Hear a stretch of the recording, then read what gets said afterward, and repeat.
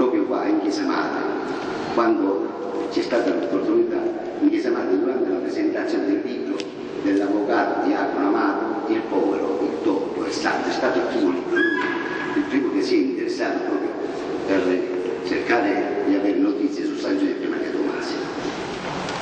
E addirittura noi, poi successivamente con la nostra associazione Tomasi, ogni anno il 3 gennaio andavamo a Roma e partecipavamo alla celebrazione della, della messa su San Giuseppe Maria Tomasi.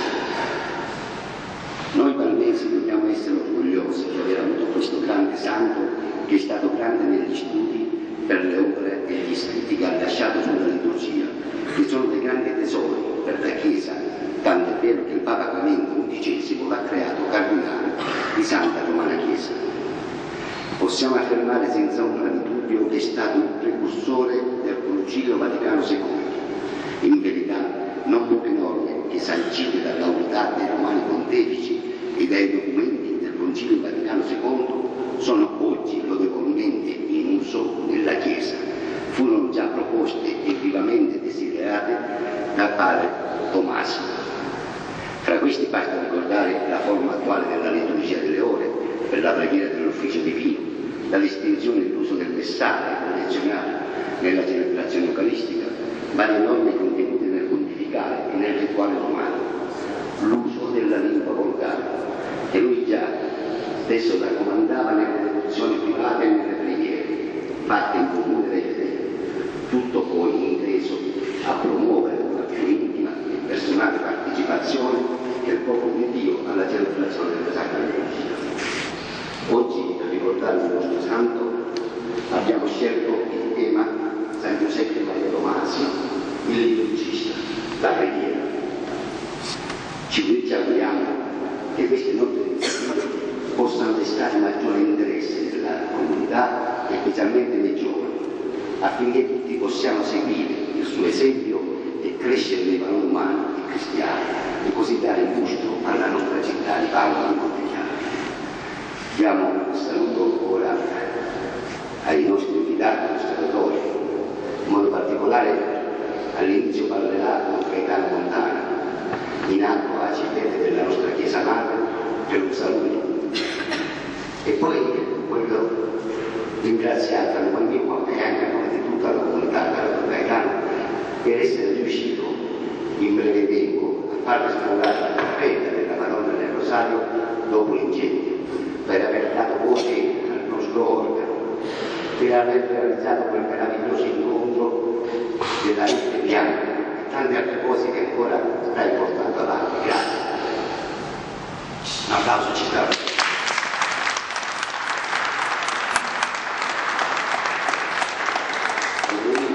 Allora la dottoressa Letizia Pace, molto impegnata nel sociale, in atto presidente del Consiglio Comunale. Successivamente il nostro relatore, il dottor Calogero Greco, dirigente ASCA Agrigento, nonché fondatore assieme a Franco Laverna, e Franco addirittura si scusa, l'abbiamo invitato a, a relazionare anche lui, ma con la famiglia non è potuto venire. Ed assieme a Franco La Perla hanno fondato assieme a Franco La Perla eh, i Cavalieri San Giuseppe e Maria Tomasi di Riccardo, il quale illustrerà la figura di San Giuseppe e Maria Tomasi l'introducista alla preghiera. Di nostro totale così lavoro ascolteremo dei brani di musica eseguiti con l'organo dal grande bravissimo Giovanni Gallo. Quindi possiamo dare inizio al primo brano che ascolteremo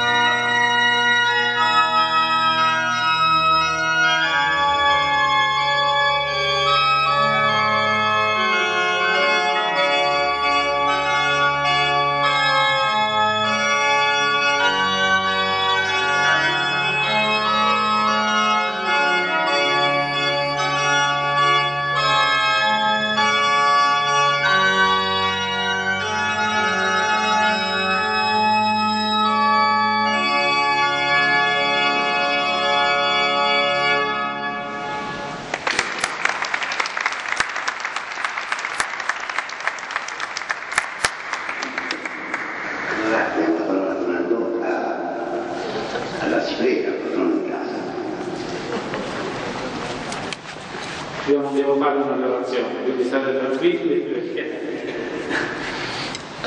sono solo contento tutte le volte che riusciamo ad approfondire qualcosa delle nostre radici. Questo mi fa contento perché avere la capacità di conoscere le proprie radici significa avere la forza del futuro, diversamente non c'è futuro. Questa è cosa certa. E questi momenti sono momenti che puntano molto sulle nostre radici per comprendere il nostro futuro.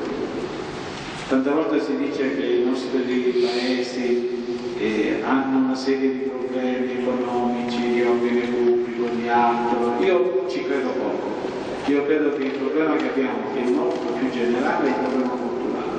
Avendo smarrito il senso della cultura, no, abbiamo smarrito il senso di tutto il resto, della vita che dobbiamo vivere insieme.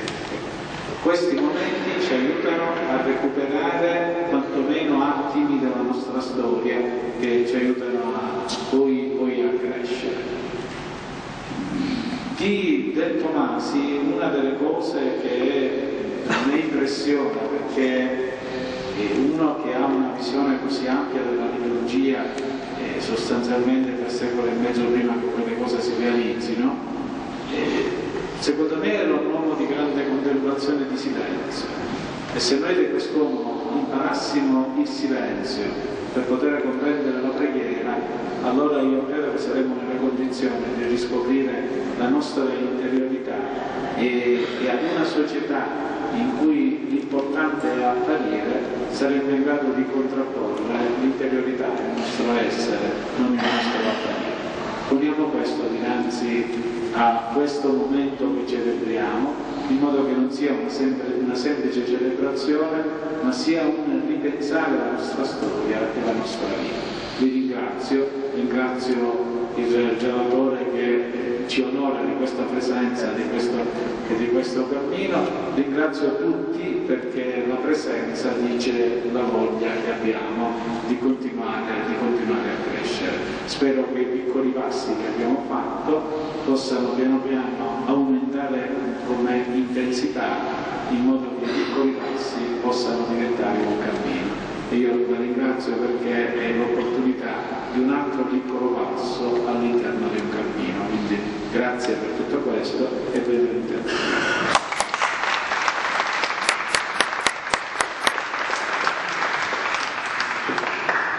Ora, la, la dottoressa Letizia Basi ci dà il saluto da parte dell'amministrazione del Consiglio Comunale.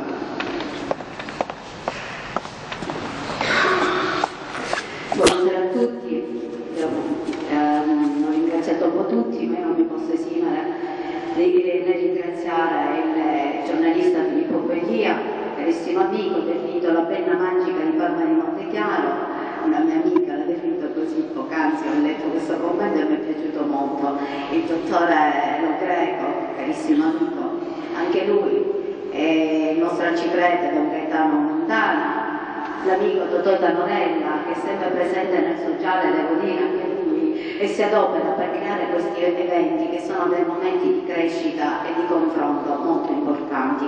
E l'ordine dei poveri cavalieri di Cristo di cui faccio parte, infatti ne porto qui la croce che è il nostro simbolo e mi pregio veramente, sono onorata di fare parte di quest'ordine. Quindi grazie a tutti e grazie ai presenti. Porto i saluti del sindaco, dell'amministrazione e del consiglio comunale che rappresento. Mi onoro di rappresentare tutti voi cittadini. E, che dire, le origini di Palma di Montechiaro, come sappiamo, brillano della luce accecante con cui la famiglia Tomasi di Lampedusa ha illuminato la nostra storia, la nostra Palma. Tutti conosciamo gli albori di questo paese e quanto i, Tomasi abbiano dato lustro alla nostra terra. La famiglia Toma- Tomasi, nobile, ricca di personaggi che variano un po' da personaggi che si sono distinti nella, nella letteratura, nella politica. Chi di noi non ricorda il primo bestseller della storia della letteratura, che è stato il celeberrimo romanzo del principe Giuseppe Tomasi, Il Gattopardo, da noi letto, riletto, assimilato e in qualche parte anche imparato a memoria. Quindi l'albero genealogico al cui principe appartenne fu ricco di svariati uomini, uomini d'armi, di grandi pensatori, di politici illustri, in epoche in cui la politica, credetemi, aveva un- una grande valenza di enorme spessore. Ma la famiglia Tomasi generò anche e soprattutto magnifici uomini di chiesa e donne che dedicarono la vita a Dio. Come non ricordare Don Giulio, il Duca Santo, fondatore del monastero, o la venerabile donna Isabella, suora al monastero col nome di Suor Maria Crocifissa, che tutti conosciamo, passando poi per donna Francesca, Suor Maria Serafita, badessa del monastero nel 1727. Via via troviamo quindi molti discendenti della famiglia impegnati in opere pie e carriere ecclesiastiche, fino ad arrivare a quel Giuseppe Tomasi che oggi, 3 gennaio, ricordiamo quale principe santo. Egli fu beatificato nel 1803 da Papa Pio VII e santificato poi da Giovanni Paolo II nel luglio del 1985. Io ancora ricordo, ero più giovane rispetto ad ora, sì, ma ricordo che ci fu una festa bellissima a Palma in quell'occasione. Ma Giuseppe Maria Tomasi era nato a Licata, Vano Dottore Lo Greco, il 12 settembre del 1649, da Rosalia Traina e Giulio Tomasi, principi di Lampedusa e duchi di Palma di Montechiaro. Ma poi magari ecco, altre notizie le approfondiremo con lei. Il piccolo Giuseppe Maria sentì presto ardere dentro di sé il sacro fuoco, il sacro senso e fuoco della fede, perché ancora bambino, molto bambino, aveva già una grande bontà d'animo, generosità, quel senso della pietà e della, eh, del soccorrere i bisognosi, virtù credete che in un bambino solitamente non si riconoscono, ma i genitori lo capirono subito, che era un bambino speciale e quindi che era più interessato al regno terrestre, non era interessato per niente al, re, al regno terrestre, ma al regno di Dio.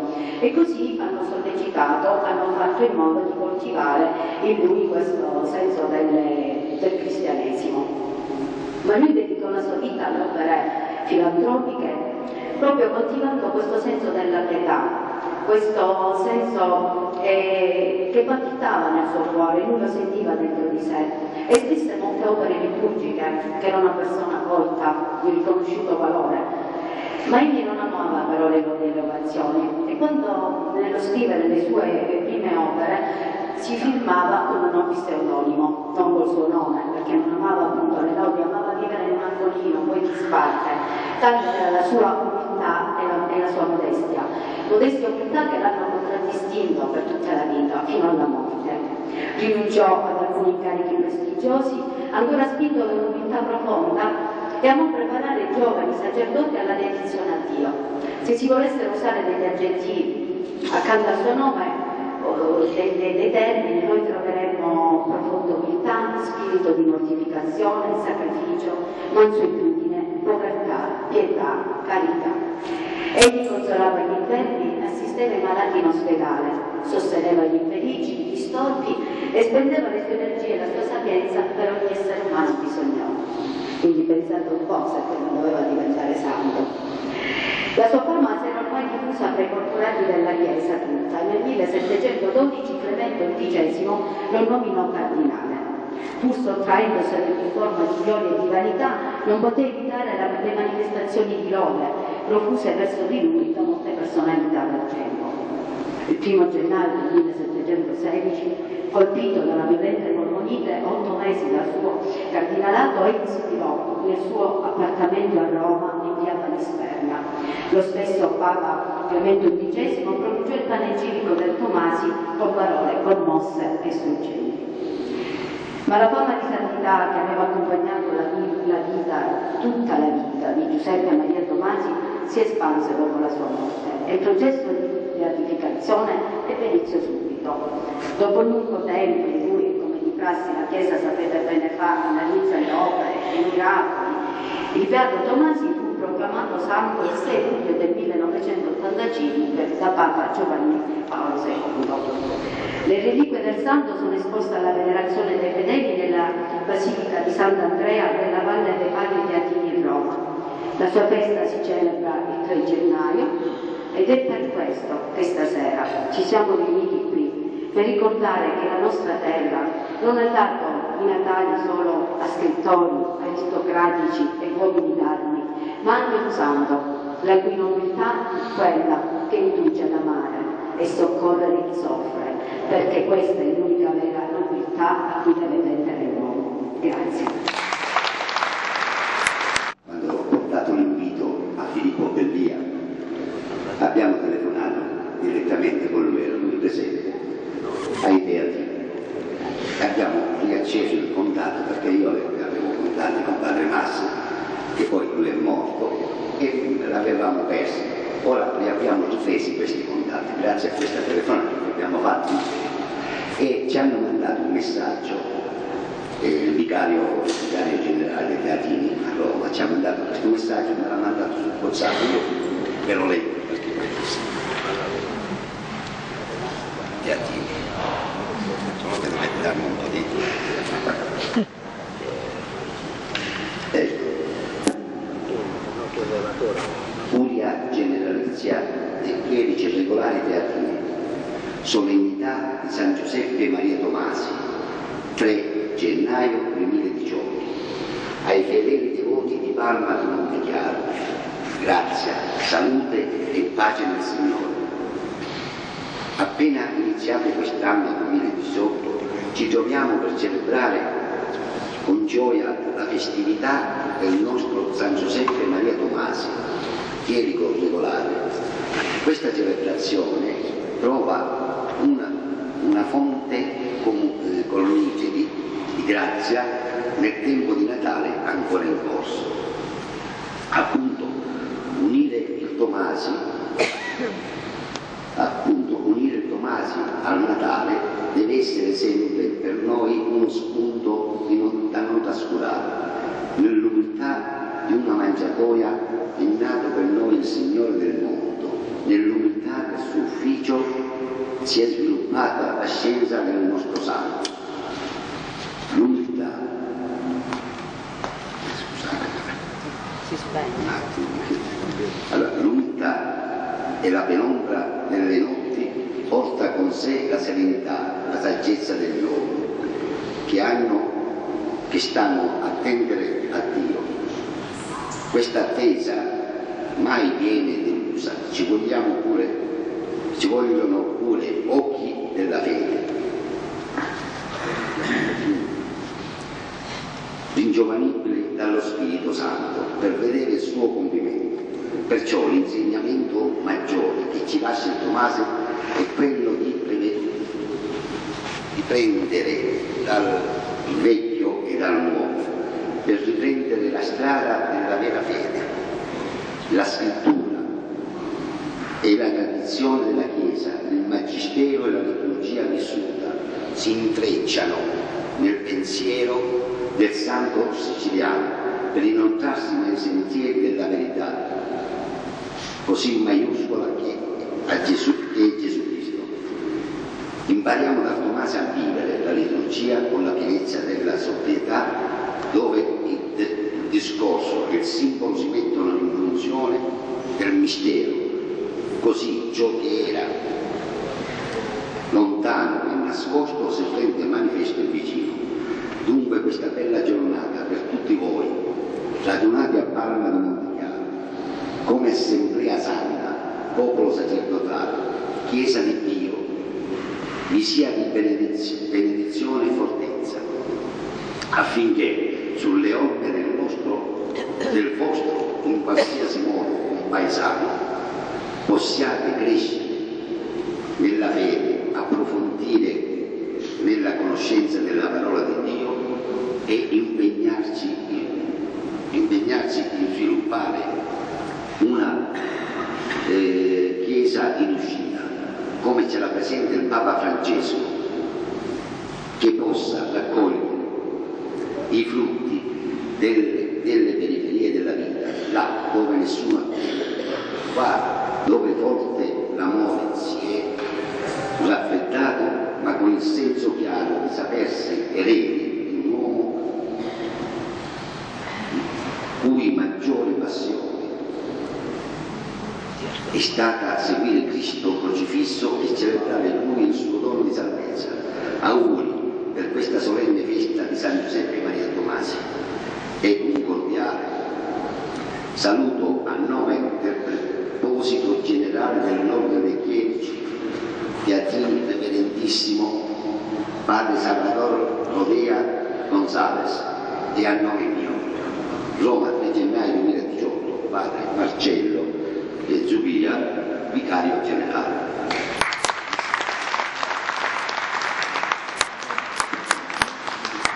Ora ascoltiamo il secondo brano, però prima di ascoltare il secondo brano vorrei dirvi qualcosa, ecco, qualcosa su Giovanni Gallo. Giovanni Gallo inizia, il nostro organista, il giovane, inizia a studiare musica a sei anni presso la nostra musicale Vincenzo Bellini. Intraprende lo studio del pianoforte a 11 anni, in atto frequenta il livello avanzato dei corsi preaccademici presso il Conservatorio di Caltanissetta, sotto la guida del maestro Lamarca. Dal 2016 torna l'organo della nostra Chiesa. Ha partecipato a diversi, diversi concorsi, di cui a San Cadato e alla Cileale, che stato classificato il primo. Quindi ascoltiamo ora questo brano. Thank you.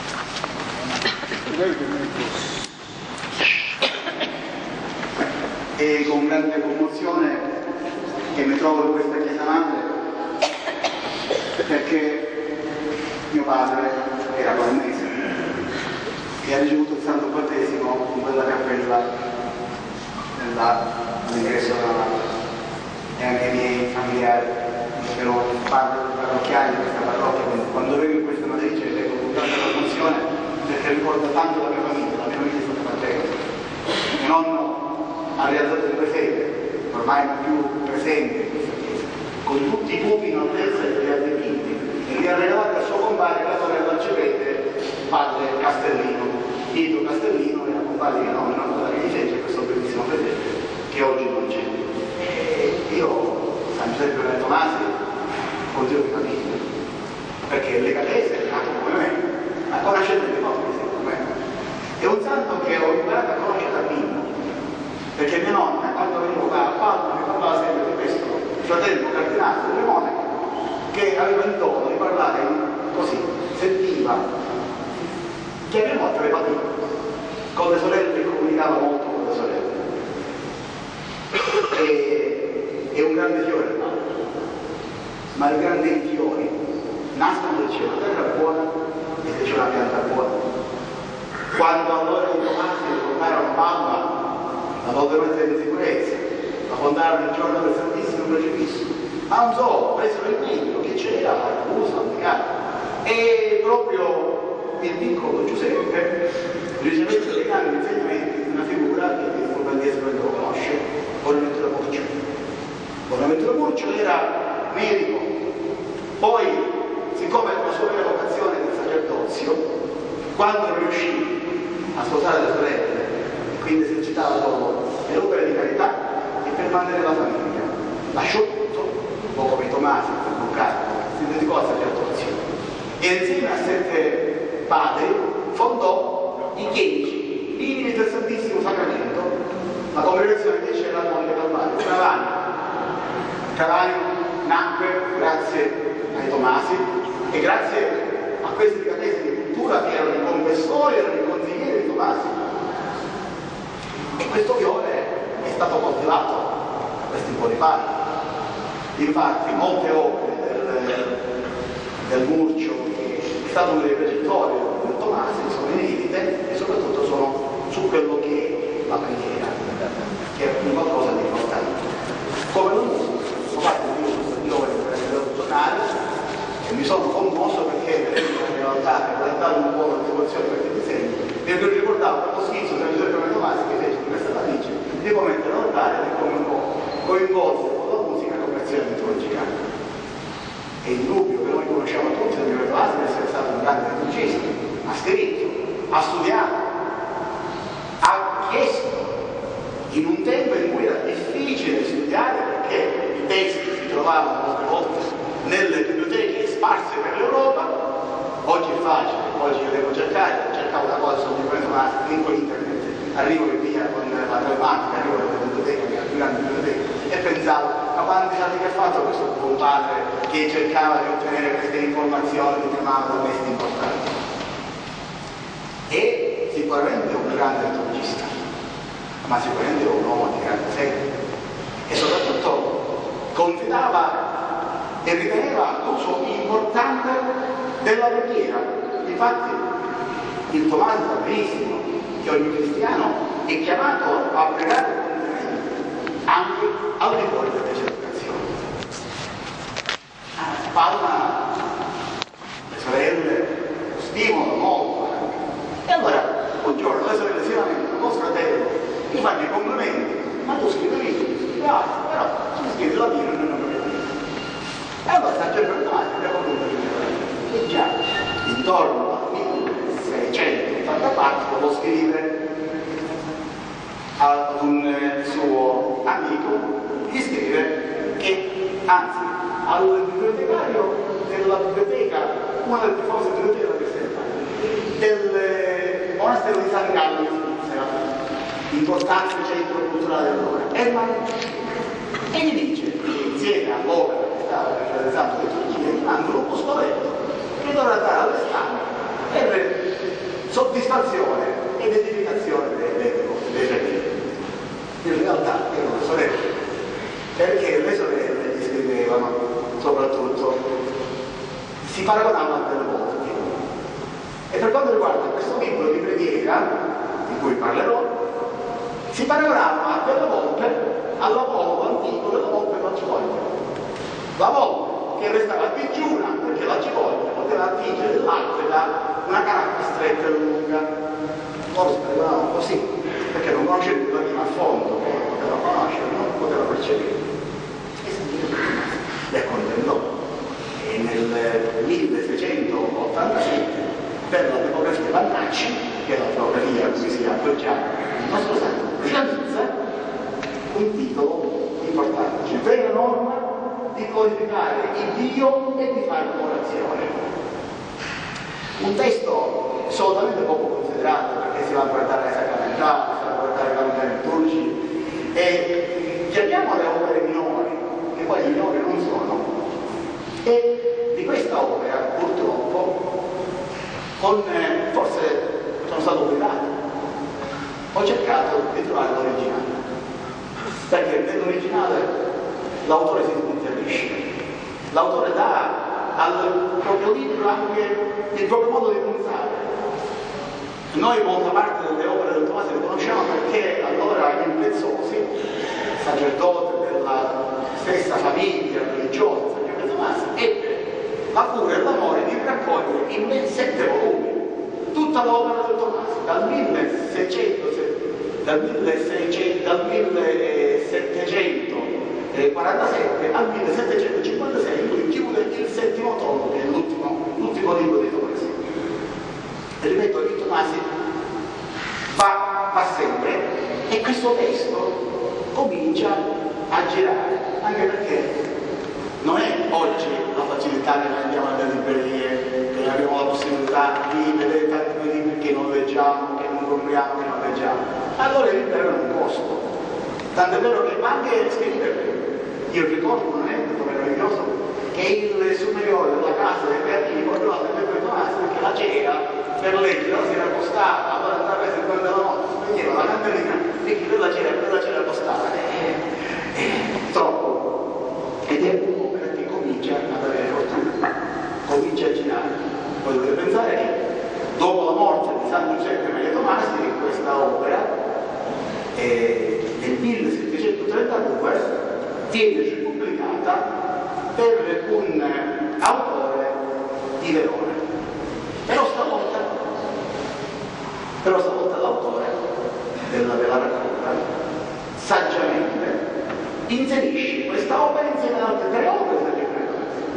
Perché il santo non è che scrive in lingua volgare o in lingua italiana, ne scrive bensì altre tre. E quindi esce con il titolo di Opera sceglie del venerabile Giuseppe Maria Tomasi.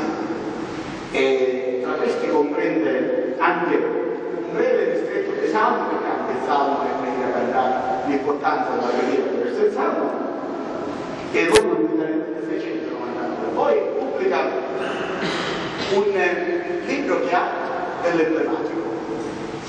Lo pubblica contestualmente alla sua nomea Il maggio del 1712, Papa Valentino XI lo nomina cardinale.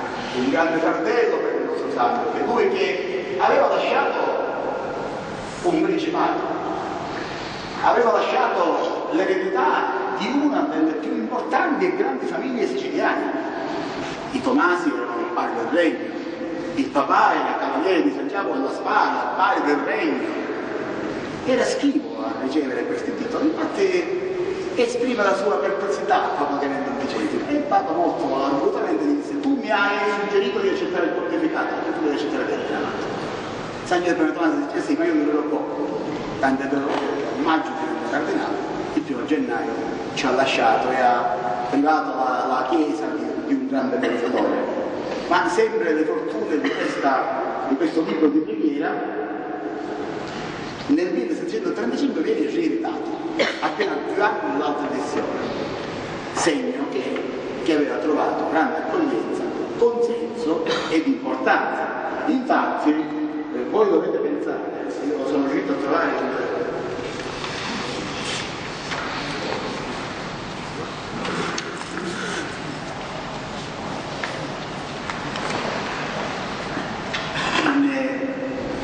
frontespizio di una di queste opere, che l'edizione, tanto che di tutte quelle che sono state realizzate forse la più fedele di questa, di questa pubblicazione, ad opera di Giovanni Agostino Tomotta, anch'esso chierico regolare, interrare.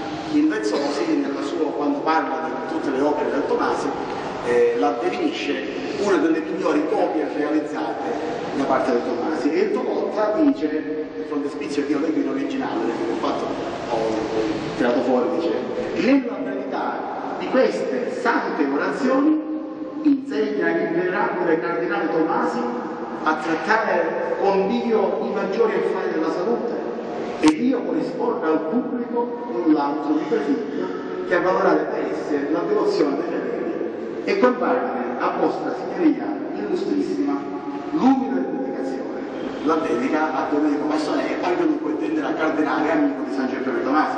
San Giuseppe Tomasi per la sua stima molti poi di, di quanti erano vicini divennero anche loro cardinali perché erano una cerchia eletta nella Chiesa non eletta di potere eletta nello spirito eletta nello studio eletta nel cercare e di custodire la parola di Dio e, però le edizioni ecco non hanno lo spirito del santo perché l'edizione di questo libro il primo in cui ogni autore dà il suo tocco personale per quale io qua ho preso un'immagine c'è un bellissimo purtroppo Gesù orante Gesù che prega nella sua estrema preghiera di sofferenza nell'orto degli olivi e il santo dice in brevi parole perché pregare e soprattutto chi ci ha insegnato a pregare.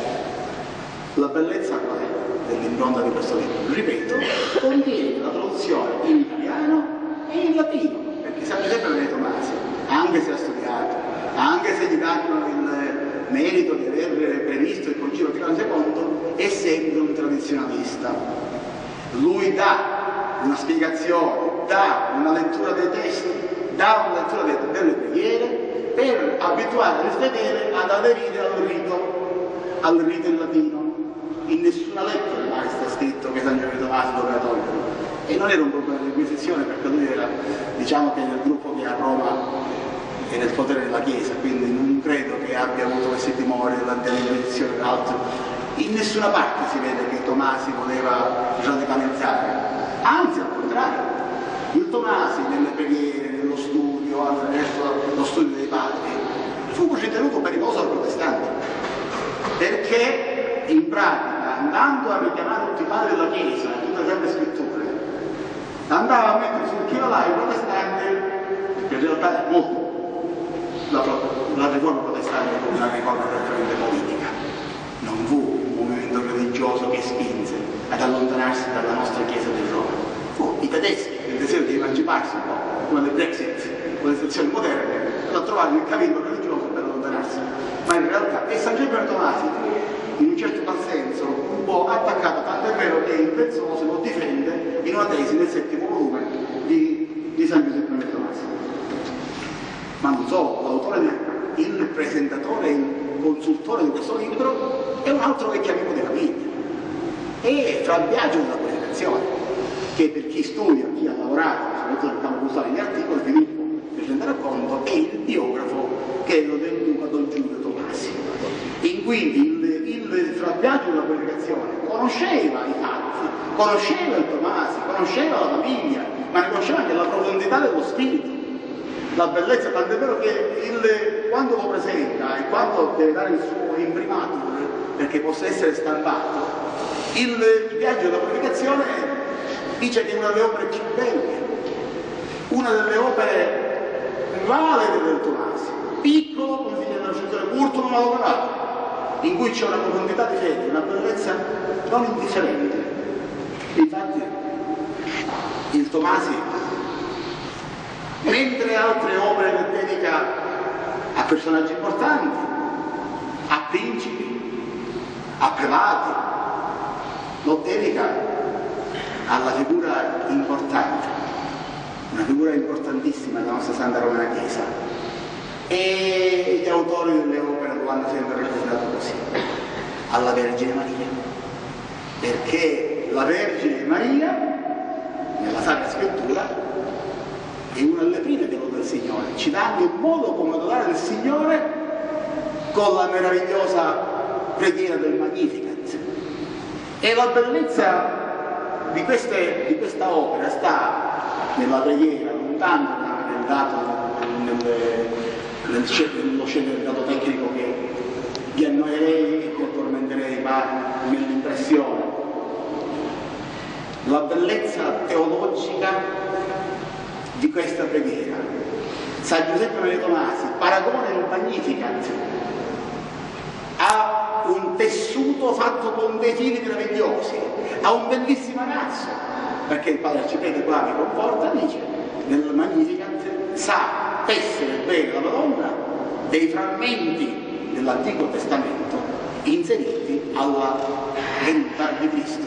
E quindi ecco questa bellissima espressione e giudizio che dà di questa opera. La preghiera perché Giuseppe Tomasi scrive la preghiera? Tutta la preghiera, come dice Cristo stesso, che ci insegna a pregare, è Cristo stesso che ci indica che noi il Padre nostro. C'è tutto il Padre nostro commentato, qualcosa di eccezionale, ci dedica 20, 20 pagine del Padre nostro. Una cosa eccezionale, con tutta puntualmente indicata, lo definisce il Padre nostro, dice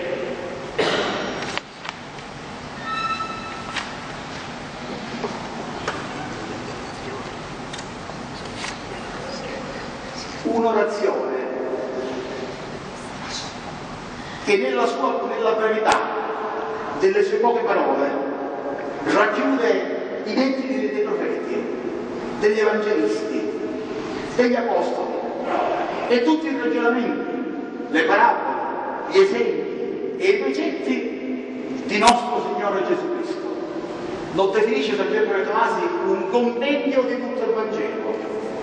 Chiaramente meriterebbe solo una delle preghiere un momento di studio.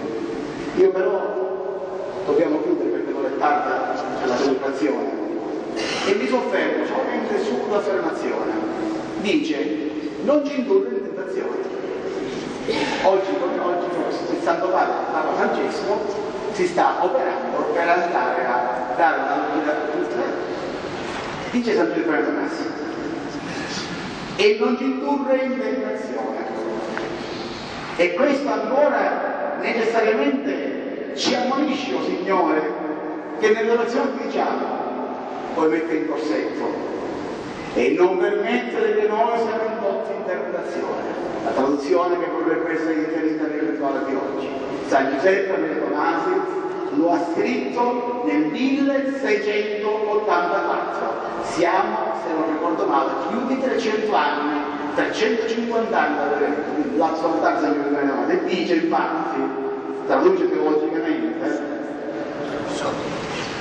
nelle quali parole ci si mostra che nulla contro noi è buon avversario se tu Dio prima non lo permette.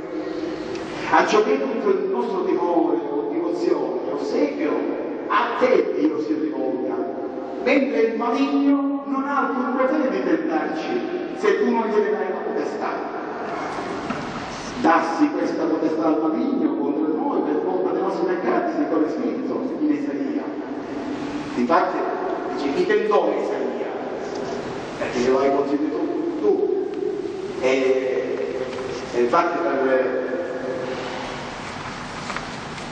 dice, o dunque, Signore, noi ti preghiamo che procedendo in tutti noi questo umile su questa confessione della nostra stanchezza, tutto il bene attribuendosi a te e tutto ciò che noi col divino timore e rispetto ti domandiamo ci sia concesso per tua bontà. Queste parole ben degne meritano i commenti molti padri della Chiesa. Fino al 1900 questo testo è stato studiato e approfondito da molti pensatori cattolici e che hanno definito questa piccola opera di Tomasi la somma di tutte le sue opere, per la validità, la bellezza, il modo della catechesi sempre attuale, se potesse essere stampato e pubblicato, non sembra un libro pubblicato nel Seicento, ma ancora oggi mostra tutta la sua vitalità, tutta la sua importanza e la comprensione di questa bellissima pratica che ci ha insegnato direttamente il nostro Signore Gesù Cristo. molto commossi e diciamo anche sorpresi di questa emozione, questa competenza con cui ci ha parlato il nostro eh, caro Colombo. E, una spinta questa per tutti noi a studiare prima ancora il nostro santo Francesco Maria Tomasi, che è molto prezioso, molto ricco nella preghiera, nello studio, nella verità, nell'amore, nella fede. E per cui abbiamo qui noi anche un maestro, molto chiaro. Adesso magari ne parlerò durante la messa, io devo dire andare insieme alla messa. Grazie ancora a tutti, mi permettete che vado insieme alla messa. Ora sì, ecco, ringraziamo tutti ringraziamo in modo particolare Ardillo, eh, lo greco per averci aiutato veramente eh, sul- sulla preghiera di San Maria Tomasi e